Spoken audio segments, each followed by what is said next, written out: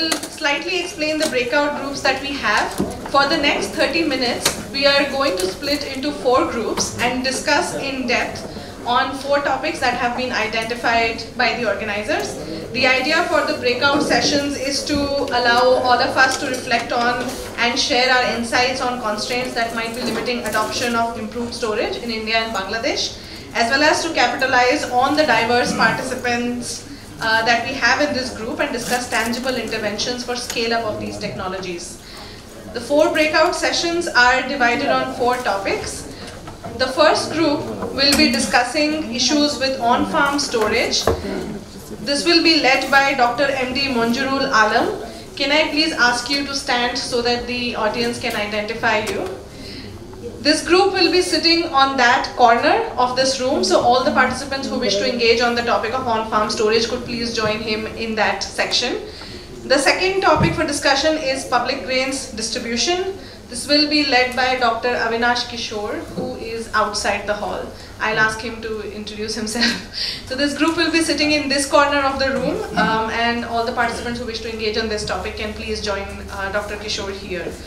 The third topic for discussion is private market systems. This will be led by Dr. Kathy Baylis. So anyone who wants to join that group, this group will be sitting um, in committee room one, which is on the ground floor where we had lunch. Our uh, colleagues will point you towards the direction of the room. And similarly, the fourth group will be discussing issues on public-private partnerships, including farmer cooperatives, and it will be led by Ms. Maria Jones of ADMI. So all those who wish to discuss on this topic may please join the fourth group.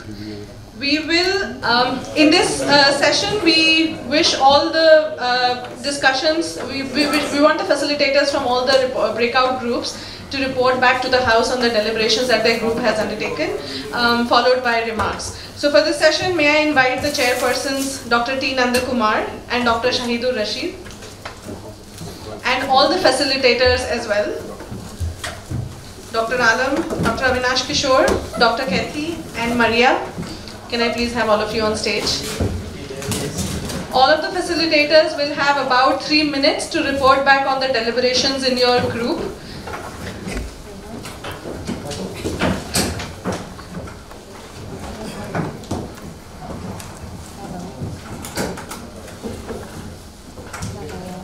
Thank you all and I'll hand over to Dr. T. Nandakumar to undertake the session now.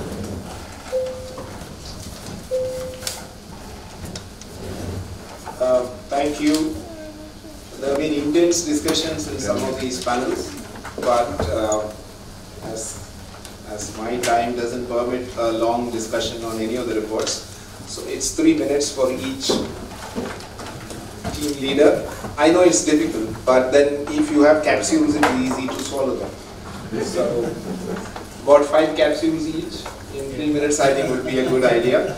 But just uh, one or two small opening uh, statements. I think we have heard most of the problems in the earlier sessions. Uh, we are actually looking at solutions. Uh, solutions could be in the form of policy changes, managerial practices, technology adoption, uh, any of those areas. And um, some would be large policy changes which will be difficult, but all the same, I won't prevent them being listed. Some could be small changes which can then lead to a larger chain reaction. Uh, that would be my request to you. And uh, after three minutes, I still have, I think, half an hour for the whole session. Yeah, so I still have some space for you to raise a question or two uh, and seek some answers. So, so that even if we don't have a way forward as we envisaged, at least we know which baby steps to take. Okay, we start with uh, Dr. Monjurul Alam. Your three minutes.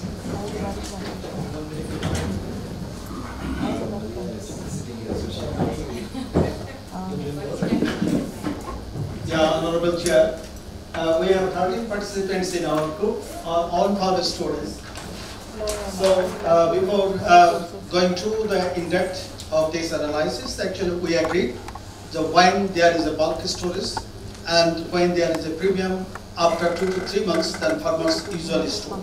So when they are going to store and the improved uh, storage practices are important, but they are facing, you know, all the technology has a cost. Usually the higher cost than the traditional one. The lack of awareness among the farmers, especially the smallholder farmers, then, uh, you know, when this storage, especially the facts are there, so it is very difficult to stack up, learn some of this space unavailability, rats and rodents, uh, insects, and high importing of these technologies in the country. And there is a, when there is a mass, actually, storage, the bulk storage, there is a management and recycling of these hermetic bags are really a problem. So we came up with some of these solutions.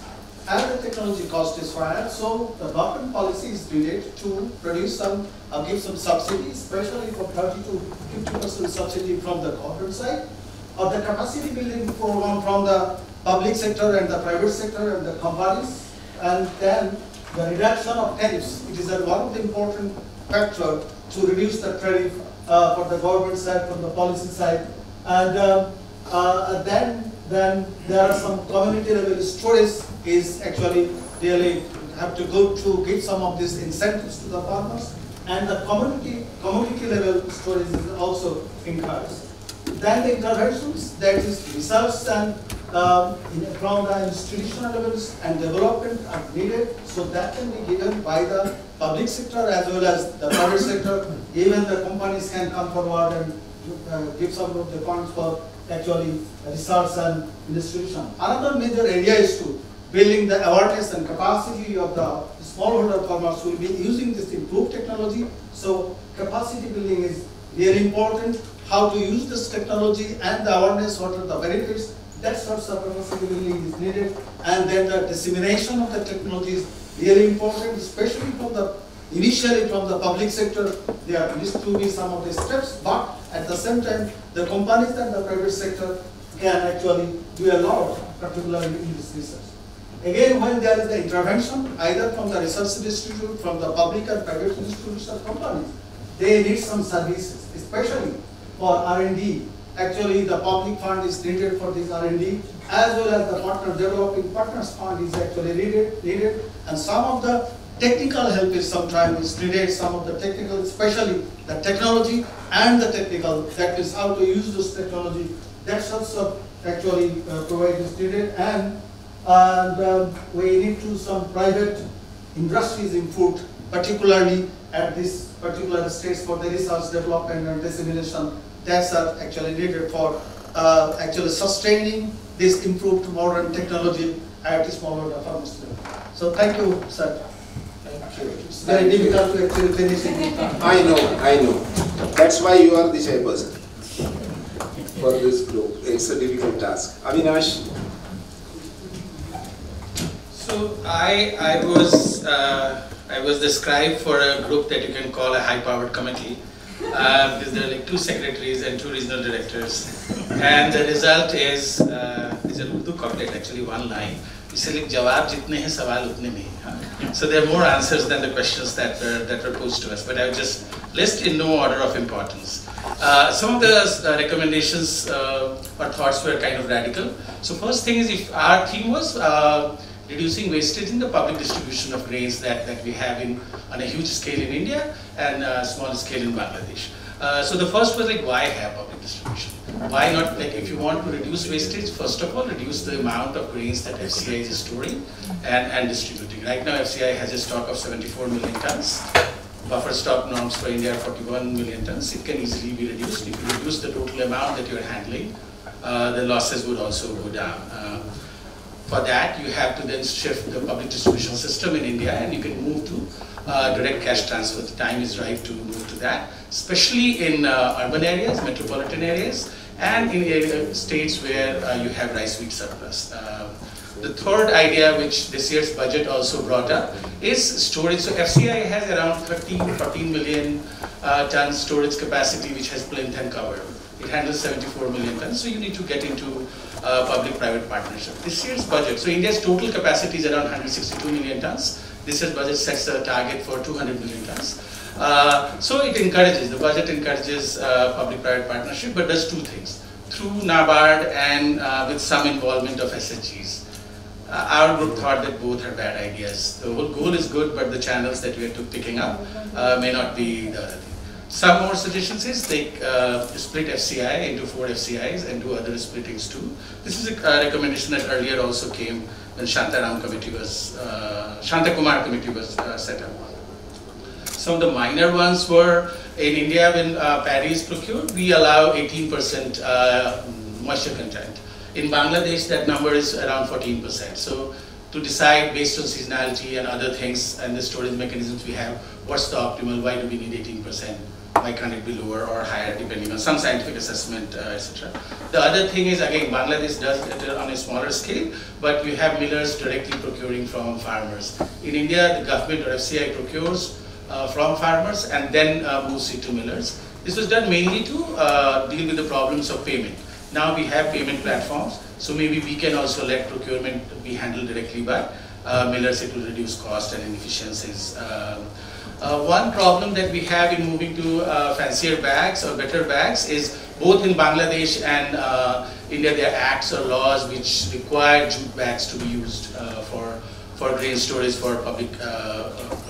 the last thing that we discussed is a slight deviation. We're talking about food quality. So uh, both uh, midday meal scheme, ICDS, and public distribution system are huge channels through which we were discussing could we use them uh, to deliver biofortified or fortified foods and what would be needed uh, to do that.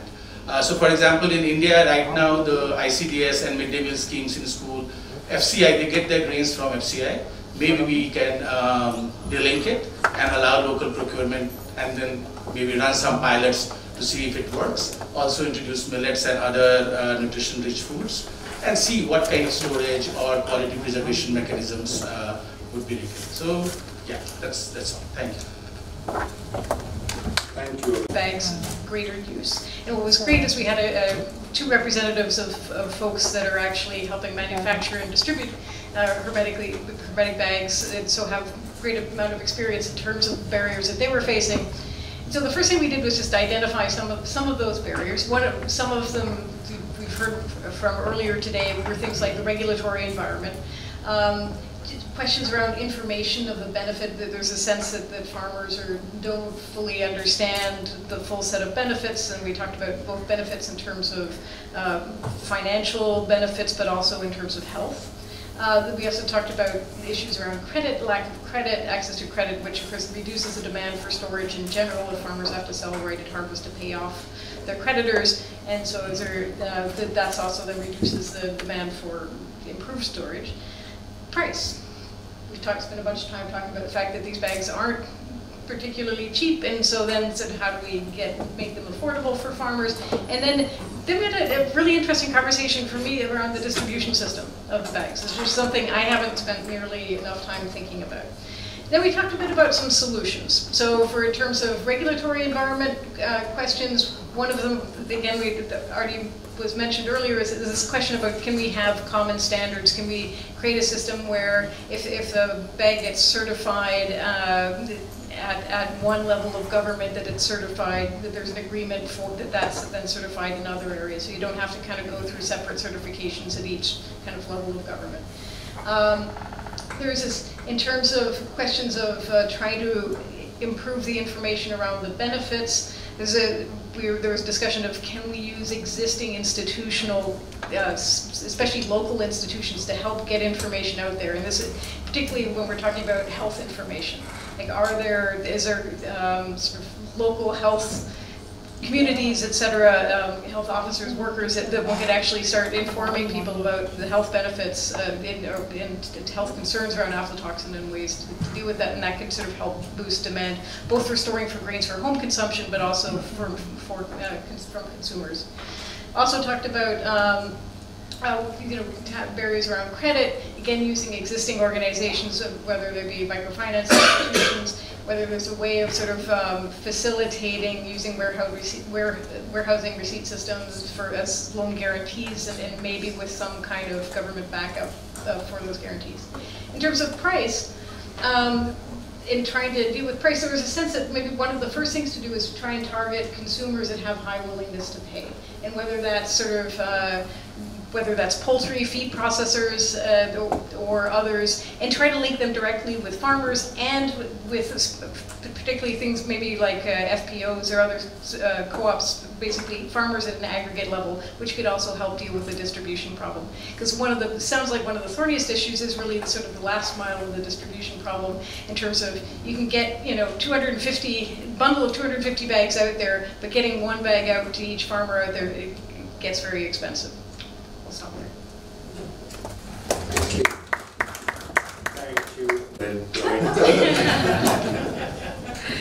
Uh, I'll keep it really short. So our group, we had a good mix of both uh, private sector with manufacturers, distributors, as well as NGO representation.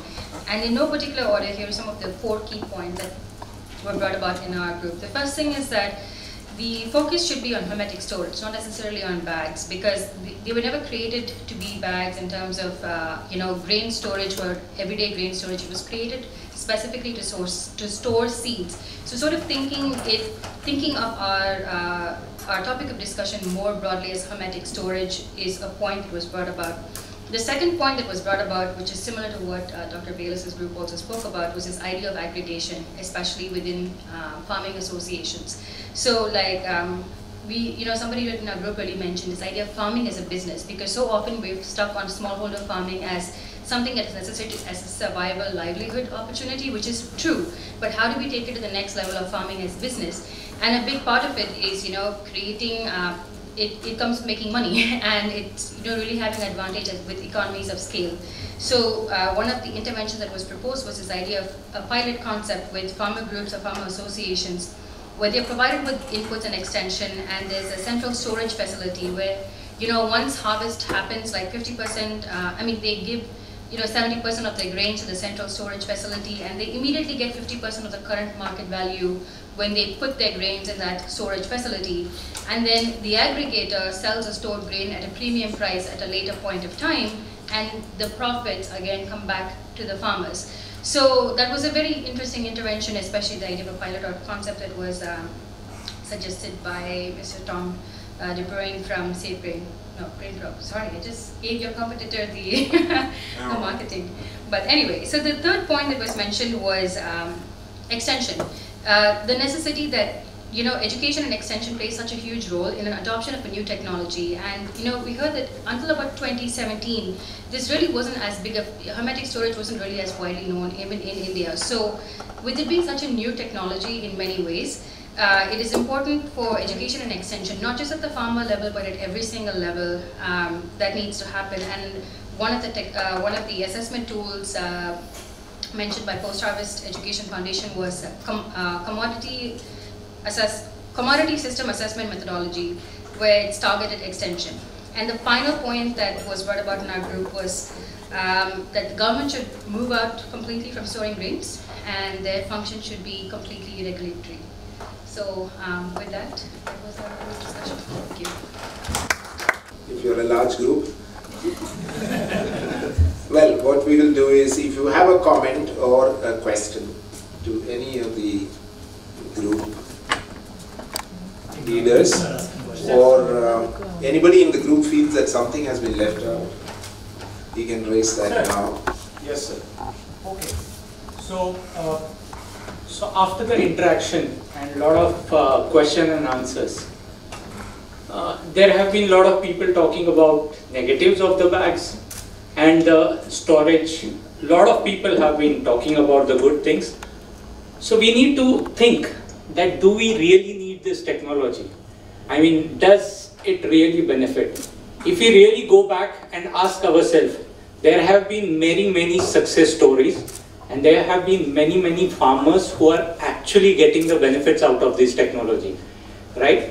So, uh, I mean, we need to come conclude or reach to a uh, common goal that we have to accept somewhere that yes, whatever we are talking about storage, yes, storage is important and yes, hermetic technology is really making an impact, but there have been challenges in the past because this technology has been new.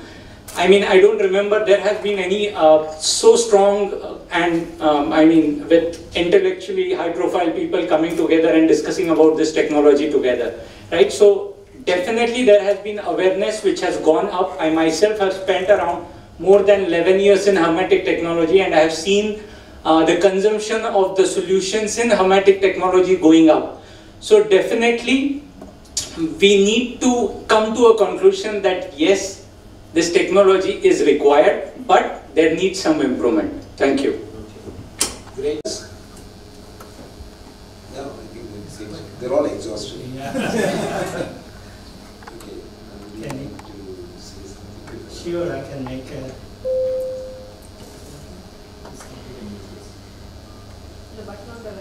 Okay. uh, Then we reach set of discussion. What I'll do, I'll try to pick some of the good points, the points that I like, this is all personal opinion at this point, as a co-chair. And I'll take some good points and I'll also some points that I'll be critical of. So starting from the farm level storage, I'm very critical of the idea that we have to give subsidies to the farmers to, to promote hermetic bag. Thirty to fifty percent proposal, I don't know. We need to understand what the rationale for subsidies are before going into that direction.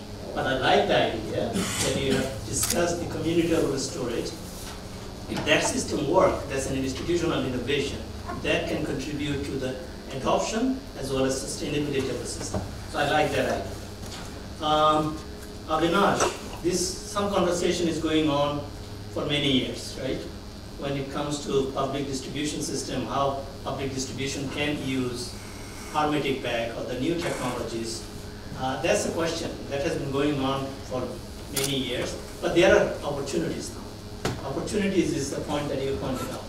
Now government is now willing to foster private-public partnership, that's the good news. That's actually good news. Same thing is happening in Bangladesh, they're trying to promote similar kind of thing at the community level storage, which is a good idea. We have to move out of the traditional model of procuring, piling up, and dumping to the market, so that's a, that's a good idea. Um, coming to market information system that KP talked about, I think that comes to right into the points that Ashok made at the beginning. We need to communicate. If it is profitable, if it is cost effective, people should know, they will adopt it.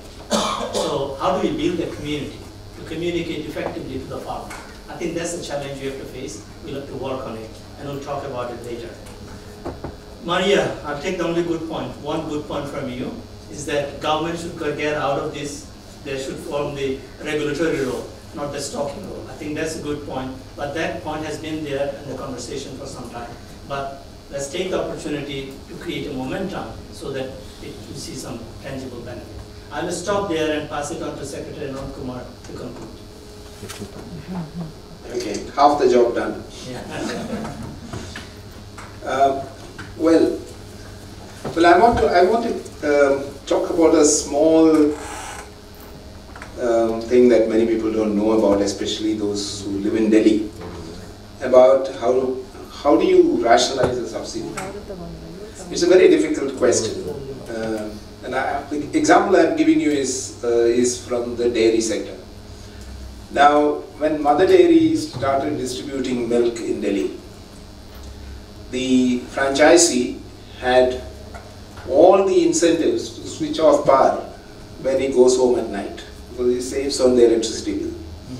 And in the morning you have milk that is spoiled and that used to be a burden on the mother dairy because the fault always used to come back to the mother dairy. So what we did was, and this is Dr. Verghese Kurien's ingenuity, he said we will pay the electricity bill of the small vending kiosk. Um, so he has no incentive to switch off because anyway the bill is paid by the mother dairy themselves. So that's one way of giving a subsidy without actually calling it a percentage of anything. What is it that you want to achieve and measure it exactly and give that money. So I'm just giving that example because this is not very well known in, in academic circles. These are managerial tricks that you, you use to run a show.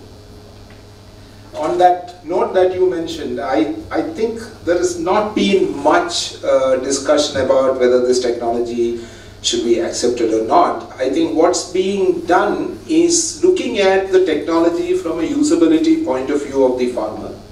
And there are some issues there which the practices of farmers probably changing them may not be easy because there are constraints and we need to look at those as uh, problems which need a solution. Uh, it could be a managerial solution, it could be uh, a technology solution, it could be uh, another solution. Uh, and I go back to Ashok's point in the morning about cost benefit ratio. Uh, I think it's an extremely important thing, but having worked with farmers, for him the cost benefit ratio is when he finds extra rupees in his pocket.